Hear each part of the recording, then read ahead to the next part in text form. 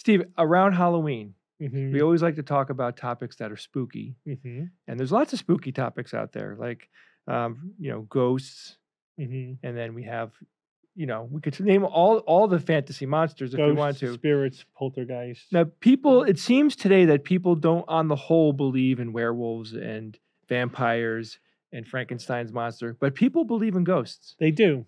And- it's still very popular. And this is a thing that scam artists or Mm. people that believe it Yeah.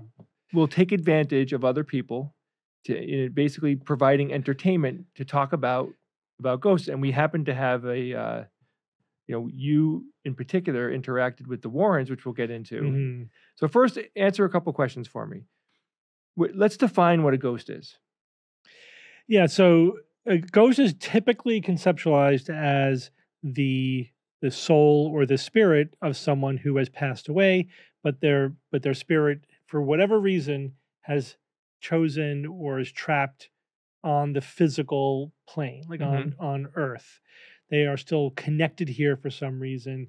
Maybe they have to complete something. Yeah, unfinished. yeah they have business, yeah. unfinished business that they have to they have to deal with before they could move on to a more permanent resting place that's the mm-hmm. basic mythology of ghosts who ghosts are they tend to be attached to again in the mythology they tend to be attached to spooky places very old places very lonely places like um uh Abandoned lighthouse lighthouses are, are, Oh, are lighthouses. common, yeah. you can't go into lighthouses. Yeah, It's very dangerous. right or places where something traumatic happened a beat you know gettysburg you know the Mhm. field where thousands of people died um so that's that's the mythology uh, we you know we come from Connecticut. You know we, we we've been running a skeptical organization in Connecticut for you know almost thirty years, and and so that the ghost hunting and belief in ghosts is very popular among the pseudosciences you know, in a doubt. Connecticut. In no small part due to the long careers of Ed and Lorraine Warren, Mhm. who were, you know, I think the original really famous ghost hunters, at least in the modern era. And they had a pretty profound career of giving lectures and Yeah. talks and actually even being paid to get involved with real Yeah, ghost hunting. and and then inspired movies, you Yeah. know, Well- haunting in Connecticut, you know, the the ragdoll, you know. yeah. Um And The Conjuring was actually yeah, that's the, another yeah, one. the that were- conjuring. So but you know, and, and it is very common for us to be contacted around Halloween to ask about tell us about like the the white lady of Union Cemetery, which is a local ghost legend. Mhm. And uh, and we, we looked at, of course, a ton of so-called evidence for ghosts when we were, you know, investigating the the Warrens, and um, now there's been a whole cottage industry of ghost hunting groups and entire. This still boggles the mind. You know, entire shows dedicated to to ghost hunting. It always fascinates me that you could watch a show about nothing, right? Yeah, about something nothing. like they're never going to find, like they're never going to find Bigfoot. They're never going to actually have, you know, evidence of a ghost. It's all in pursuit of. Yeah, but- it's all never. pursuit, There's never yeah. like a, yeah, and they do stupid things. it's and, all suggestion. and and some of them, you know, manufacture. You know, they'll they'll do that. I've heard well. stories of that certainly. Um, so what? Let's let's talk a little bit about ghost hunting. You know, Mhm. like what do they do, and the types of evidence that they present? Because we're all about the evidence, right? If you can believe in ghosts or not believe in ghosts, that good for you. Who cares? But when you say I have evidence of ghosts, now you're in our realm, right? You're in Right. the realm of of science. Um, so one type of evidence that is very very common is ghost photographs. Mhm. Uh, you have a picture. Generally, these are splotches of light on film, right? That's basically what they are. Uh, and over the years, ghost photographs have tracked very closely with photographic technology, right? Not Mhm. by coincidence. Whatever the technology is being used at the time is amenable to certain kinds of artifacts that could get images or, or light or exposure on the film, and those are the ghosts, right? Um, So, quick example, like yeah. people accidentally um, having their camera strap hmm in the frame, and it could be highly reflective. right. Like if if it's made out of plastic, which a lot of old camera straps used to be. Yeah. Um, so and you could re- you could reproduce that pretty much on demand. Yeah. Like once you know about it, it's just um, if it, it requires a flash. That's one of the red flags, by the way, of an artifact that it requires a flash. And in fact, on the Warrens website at one point in time, they said use a powerful flash. That's a good way to get ghost photographs. And then, of course, once we criticized that and pointed out that that's a great way to create fake ghost photographs, they took it down. They just quietly removed that. Yep. But yeah, because if you you're producing the light, the light's reflecting off of something. It's reflecting off of dust particles, or Mhm. it's some kind of lens flare effect, or it's um, a camera strap, which doesn't have to be the camera strap. It could just be any close by object that you weren't aware was there. It may not be even in the um, in the window that you're that, that you're viewing the picture on, but it's reflecting the flash from close up, and you Mhm. get a streak of light. Um, so now there's also like a the a double exposure, which of Mhm. course only happens with cameras that are capable of producing a double exposure. Exactly. Right. Uh, or the um, the golden door effect, which is an artifact of a certain kind of camera that you know has you know that a doorway um, in, in the camera, like the shutter, like Yeah. a, a kind of a, a rectangular shutter. So this is pretty well established, you know, that you can reproduce all of these alleged ghost photographs um, very easily, and that they are an, they're they're photographic artifacts, Mhm. and they track with the technology that's being used quite demonstrably. Um, Now, I think that Yeah. historically, when you go back, if you search for ghost pictures online, you will eventually come up to to some very old ones that are famous. yeah, You might not know that they're famous, but there are there are some you know ones that we see over and over again. I think a lot of them are fake, yep. Some of them are deliberately fake. Some are accidental double and exposures, accidental, yeah. and some of them are pareidolia. yeah, right? So the ones where it's clearly a person, right? It's like this is not just like the, a face in a tree. You know, this is clearly detailed picture of a ghostly human. mhm. Um, that's a that's a classic double exposure. Yeah. Again, very easily reproduced, but you know, again, some camera camera technologies uh, lend itself to that. Um, if it's just like a splotch and you think you see a demonic face in the splotch, that's pareidolia, right? That's just seeing patterns in randomness, Mhm. uh, which again, people are also very, very good at. Um, what we don't see is um, anything, any scientific evidence Mhm. I've never seen an actual study where they tried to correlate um, the incidence of of ghost-like images on film with anything that is potentially paranormal. Although my daughter and I did do that study, the only one that I'm aware of. Uh, we took hundreds of pictures in graveyards and hundreds of pictures in similar settings, but not in graveyards that were places that have no reason to think that they're haunted.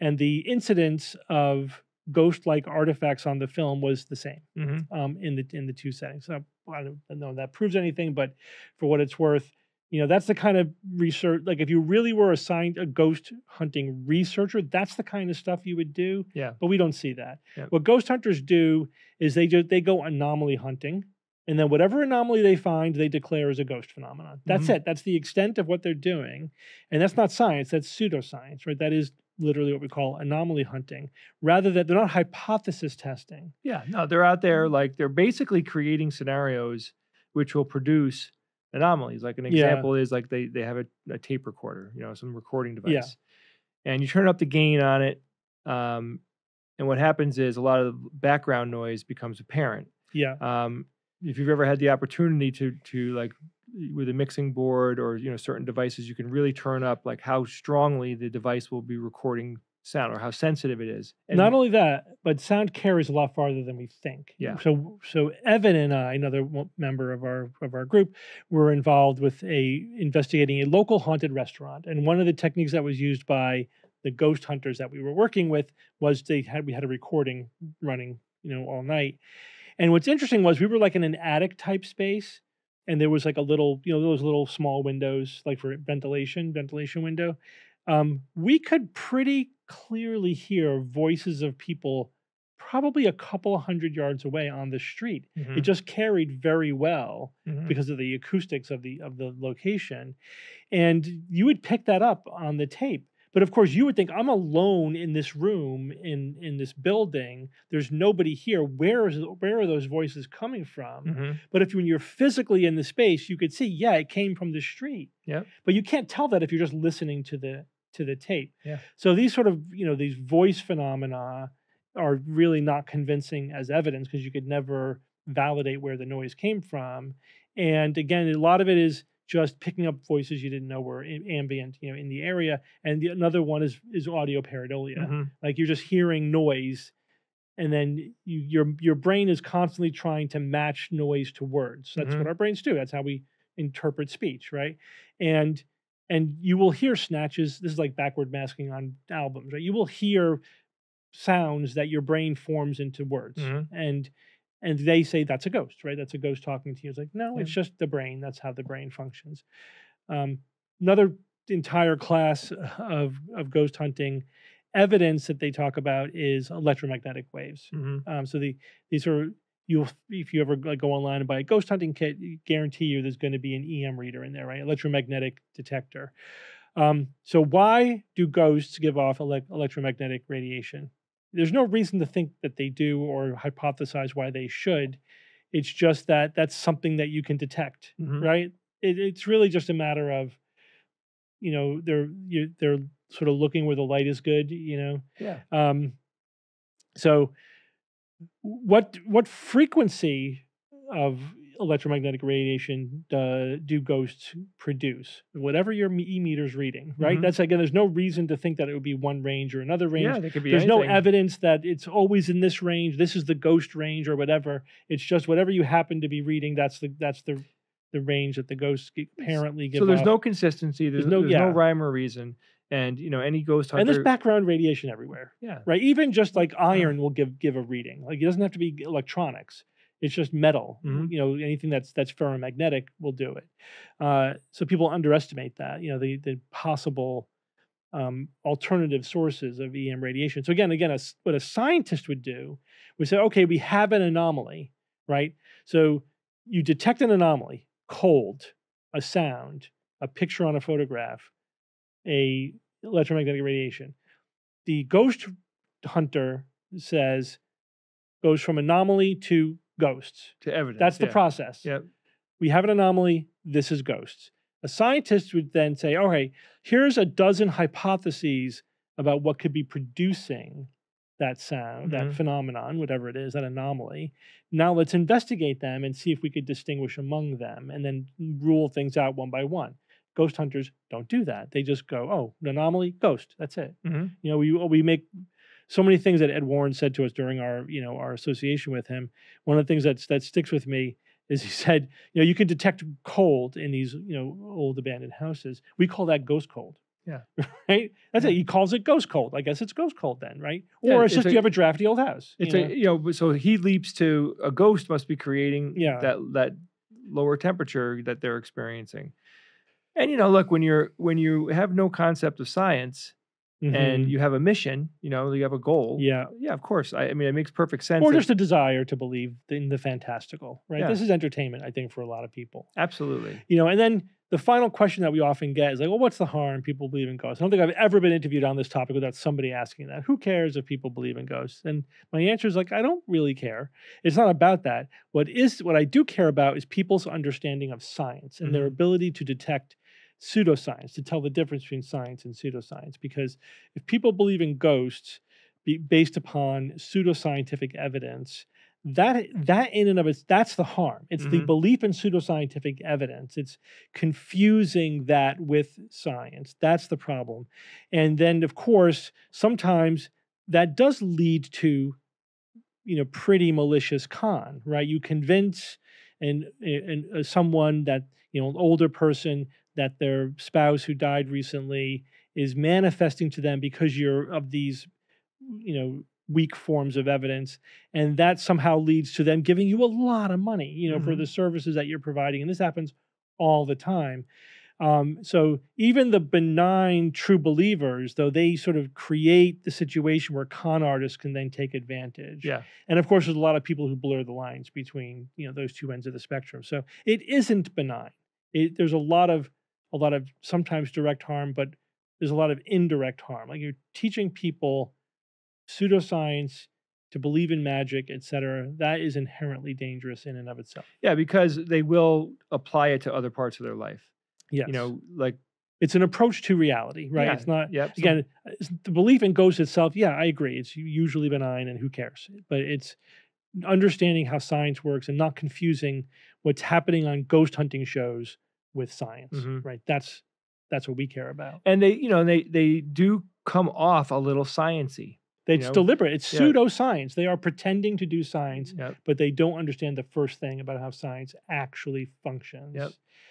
Uh, so that that's again that's what our involvement is with you know scientific skepticism, critical thinking. It's like no, this is not real science. Again, believe what you want, but this is not real science, and here's why. And that's important to explain to people. And I think another important point too is that people, um, like believing in ghosts, folds nicely into believing in an afterlife, hmm which connects you to religions, right? So, like Mhm. you know, uh, Christianity as an example, you know, there's like a, a rich afterlife in that in that mythology. Yeah, I think for some people, again, this doesn't matter in terms of like whether it's science or pseudoscience, but for some people, it's like if there's scientific evidence for ghosts, then there's scientific evidence for everything that they believe, Mhm. all the things that follow in behind that, right? Whatever their religious beliefs are, they could say, well, there's evidence. We know that it exists. Yeah. Uh, and so that's a powerful motivation. But of course, that those people though are very vulnerable to being exploited because they have a powerful hmm you know motivation uh, and again you can believe whatever you believe about the ultimate nature of reality nobody knows and we don't really get involved with that but but just don't say there's scientific evidence Yeah. if there isn't Right.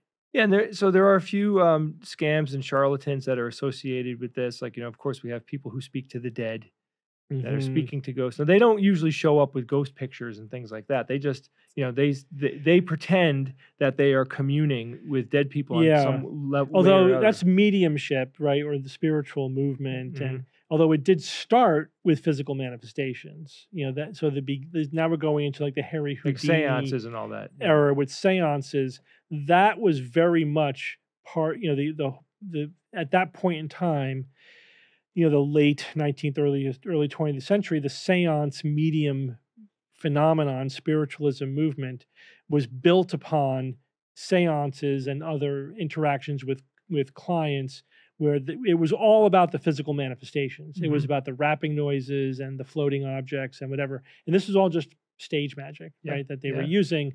And harry houdini as a magician was like no this is not evidence of life after death. You're doing cheap magic tricks and i'm going to prove it. And he did it. And he basically went run around debunking every spiritualist. They could not get away with their magic tricks in the person in in the presence of a world famous magician. Mhm. uh, so that that's what that was about. And so the medium spiritualism movement evolved into no physical manifestations Mhm. because then there was nothing to debunk, That's and right. it's all happening in the mind. Yeah. Right. So now it was It's just safe. it's yeah it's it's just talk Mhm. because then because you're not opening yourself up to um, being definitively debunked. Like if you're faking a physical manifestation, you could be proven to be committing fraud. If you're if it's just all talk, it's all the perception. It's all in the mind of the beholder, right? So uh, that's that's how that evolved. It's fun to watch. You can go on YouTube and find videos where people show you like how seances are faked Mhm. and all of the, the things that they do. And it's so ridiculous when you see the tricks that Yeah. they're doing and the way that they're pulling it off. I mean, to people who are more likely to believe in these things, it could be very impressive and, and be impactful. Yeah. But you know, when you see a magician doing it, it it really is silly.